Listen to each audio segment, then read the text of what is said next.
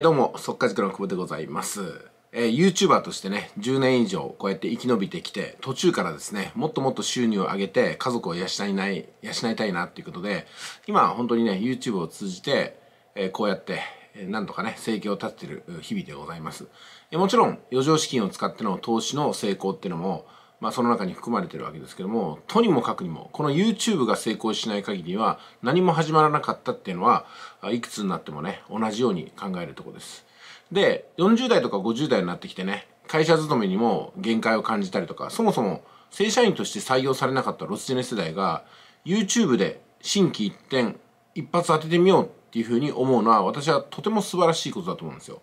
ところがですね、闇雲にやってもダメなのがもう現状ですね。これがね、10年とか15年ぐらい前だったらね、闇雲にやっても YouTuber 自体が少なかったんで当たりやすかったんですよ。で、いつまでもその印象を持ってインターネットだったら無限に稼げるみたいなね。まあそんな思考をお持ちの方、ちょっと考えてもらいたいと思います。今 YouTube で発信されてる方多いです。はっきり言ってどんなジャンルもあるぐらいの YouTube 飽和状態になってます。その中で生き残っていくためには、どんな小さなマーケットでもトップに君臨しなければ、まずは食っていけないですね。それがですね、人気のあるマーケットであればあるほど競争が激しくなるんですよ。で、マイナーなマーケットであればあるほど、ライバルがいませんから、すごく希少価値を持って稼げるってことになりますけども、そうなるとね、やっぱり認知されるまでに時間がかかっちゃうってことで、やっぱこう、稼げるまでに飢え死んでしまうってこともあります。そこで今回は、YouTuber としてセカンドキャリアを生かすための3つのね、絶対に外してはいけない、えーポイントについてお話ししようと思います。これはすごくシンプルです。まず、一つ目なんですけども、何だと思います ?YouTuber として。うん。これね、体力なんですよ。体力っていうのは実際の体の体力もあるんですけども、投稿をほぼ無限と言えるぐらい乱発できる体力ですね。時間が空いた時だけとか、気が向いた時だけに動画を上げて、それでね、セカンドキャリアになって収入が上がるんだったら、こんなにいいことはないんですけども、先ほどお話したように、そんな時代もう過ぎたんですよ。今は、100発100中じゃないことを、もう覚悟してですね、100回動画を出しても、人の目に触れるのはその中の1つか2つだっていう風な意識でやらなければ、あー YouTuber としてね、生き延びることはできないと思います。まあ、ですんで、まずは場数を増やしていきましょう。たくさん動画を撮っていきましょう。うん、特に、そのカテゴリーを決めてテーマを決めたら、そのテーマのね、右から左から上から下から二次元的に三次元的に様々な動画を撮っていくことになります。テーマは変えずにです。まあ、そういったところが必要になってきますよね。うん、とにかく、今日も動画が上がってる。明日も動画を上げる。1日に10本、20本というペースで上げれなければなかなか厳しいと思います。でも、1日に1本、なんとか動画をね、投稿するのをやめなければ、これでもまだチャンスはあります。でも、動画を更新するのに3、4日空けたとかね、何かエピソードがあった時だけ動画が上がりましたっていうことでは全然ダメです。それではもう完全に埋もれてしまいます。で、ほとんどの方が埋もれてるんですよ。うん、そういうふうなスタートラインでもうつまずいちゃってるわけですよね。YouTuber として暮らしていくためには、当たり前ですけど、毎日営業しなければいけないわけですよ。それは動画を投稿すること以外にありえません。ね。カレー屋を出しても、カレー屋がね、気が向いた時だけオープンとかね、気が向いた時だけ、えー営業開始して、で、も気が向かなくなったら、夕方の5時だろうと3時だろうとやめてしまう。こんな店に誰が行くんですかってことですよ。本当にしつこいぐらい YouTube で動画をどんどんどんどん出していって、その中でいくつかが当たる。これを繰り返していって実績を作るしかないんですよ。その中でブレイクする瞬間っていう運にも巡り合えるチャンスがやっと手元に渡されるわけですね。せっかくね、私みたいなのが対談をして動画を紹介したとしてもね。で、動画を作った本人さんが継続しなければ、たまにしか上がらない動画のチャンネル登録をして、むしろね、視聴者さんは損したと思ってしまうんですよ。まあ、ですので、その辺の意識を持ってね、やっていただきたいかなと思います。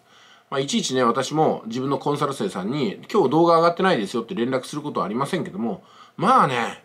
動画で一発当てたいと思う割には、私みたいなね、強力なライバルがいる市場に入ってきて、もうあんまりこう、少年が座ってないんですよね。うん。だから、とにかく徹底的に動画を上げるような体力が必要になってきます。で、二つ目です。二つ目はね、ここなんですよ。頭ですよ。思考です。アイディアです。あの、このアイディアがあれば、さっき言ったように動画を乱発する必要もなくなってくるんですよ。例えば、再生数の少ない動画でいかに売り上げを上げていくのかっていうふうなノウハウがあったらね、別に再生数が5でも10でも全然いいわけですよ。その中でコンバージョンが決まればいいわけでしょ。だから再生数1でね、売り上げ30万みたいな私何回も経験しますからね。実際に自分でそれができるわけですよ。それがプロだと思いますよね。どんな時でも売り上げを上げる。アクセスが1でした、2でした。それでも、その人に対して必要なものを提供すれば売れるわけですからね。だから、数が多ければ多いほど売れる。それは可能性はね、あるでしょう。でも、そもそもアクセスが集まらないから困ってるわけじゃないですか。じゃあ、集まったアクセスの中で売り上げを上げるしかないでしょ。だからそういうアイデアを持っていなければ稼ぐことは無理ですよ。それこそ再生数がバーンとね、1000とか1万とか上がるまで売り上げが上がらなくてもいいんですかってことなんですよ。再生数なんて1あれば売り上げは上げれますからね。そのための思考のトレーニングもできていないのに再生数が少ないから売れませんもうそれでは手も足も出ませんよって話でございます。だからちゃんと YouTube において何を学ぶべきかってことは身につけていただきたいと思います。どうしてもそのアイデアが手に入らないようでしたら私の方にメッセージをいただければね、きちんとコンサルをさせていただきますので、もうね、本当にこれ YouTuber として存在してるのかしてないのかっていうぐらいの多分やってなさだと思いますよ、それは。はい。それが2点目。ね、アイデアがありますか ?1 年目は体力、動画をたくさん出してますか ?2 つ目は動画をたくさん出さなくても売り上げが上がるようなアイデアがありますか？ってことです。3つ目。お金をかけてますかってことですよね。ね。やっぱりね、部屋の片隅でなんとなく撮った動画で売り上げ上がるんですか、ね、それこそ時間もかけていない。動画の乱発もしていない。さらにアイディアもない。その人が適当に撮った動画でどう売り上げが上がるんですかってことですよ。やっぱり何がしかの専門家として自分がね、出て YouTuber として喋っていく以上、背景ってのはむちゃくちゃ大事ですよ。ね。トレーニング系の動画を出してる人が顔出しでただね、自分の部屋の中で普段着でボーっと喋ってるのはもう売れませんよ、やっぱり。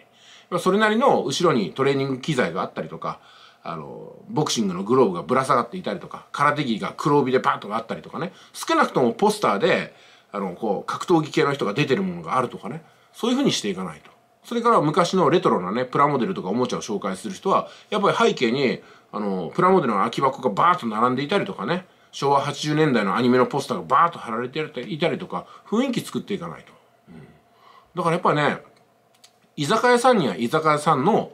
うん、演出がありますし、うん、それから、あね、恋愛でモテ系の人にはね、やっぱモテ系の演出ってあるわけですよ。スーツでパリッと出てきてねかっこいいこうヘアスタイルと表情でにこやかに出てくる人が口説系の動画とか出してたらもうそれなりになるでしょじゃあ私現役キャバ嬢ですみたいな人が出てくるのになんかジャージで部屋着でねなんか髪もボサボサでなんかわけのわかんない格好で出てきてもこいつほんまかいなと思うでしょだから見てる方聞いてる方が全然ね影響を受けないんですよ。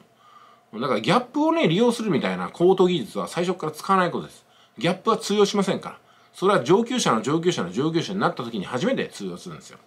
ね。例えば、阿部寛さんがね、なんか、あの、メイドカフェに行きましたっていうのは、これブレイクしそうでしょ？でも、40代半ばの、ちょっとね、小太りの人がチェックの服着て眼鏡かけて、頭にバンダナ巻いてね、紙袋をこう持ちながらね、メイドカフェに行きましたってっても、これ当たり前やないかって話になるじゃないですか。だからギャップっていうのはね、やっぱ高等技術なんですよ。だから最初からそれを当てにしないことです。つまりはきちんと演出するためにお金をかけましょうって背景にもお金をかけたりとかね照明にもお金かけたりとかカメラにもお金かけたりとかしないとダメですよそれこそ最初からね高額のものを使う必要ありません最初は中古でいいんですよ中古できちんと機材を揃えること背景を整えることによって自分もその気になるんですよそこが大事です専門家としての背景が整ったなよしやっていこうみたいな自分自身でそういった演出によってねワンランクツーランク自分が演者として YouTuber としてあのステージに立つってことが大事なんですよそういったところからメッセージを伝えるから視聴者さんの心に少し響くわけですよね。それをいっぱい繰り返すことなんですよ。だから動画の量産になってきます。で、徐々に徐々にアイディアが練り込まれていって、演出にもそこそこお金をかけてね、そして頭が良くなってくると少ない再生数とか少ない動画投稿でもちゃんと売り上げが取れるようなバランスになってくるので、自由な時間を満喫しながら YouTuber としての活動っていうこのバランスができるわけじゃないですか。最初からね、ヒカキンさんみたいにね、自由気ままに暮らすとかね、まあヒカキンさんも結構やってますけどね、もう全然ダメですよ。だからその辺がわからないから素人なんですよ。今回の動画が役に立てば幸いでございます。3つおさらいしましょう。体力がありますか？アイデアがありますか？お金をかけてますか？この3つを全くやってない人は、もう YouTuber としては全くあの、根も葉もないことになりますんでね、もう諦めた方がよろしいかと思います。まあやってみましょうよ。一つからでも。まずは動画の投稿をいっぱいするでもいいですしね。そこそこお金をかけてみるでもいいですしね。やってみましょう、それは。あの、どういうふうにすればいいのかわからない場合は、私の方がアドバイスさせてもらいますんで、ご遠慮なくメッセージくださいということでございます。それでは、いってらっしゃい。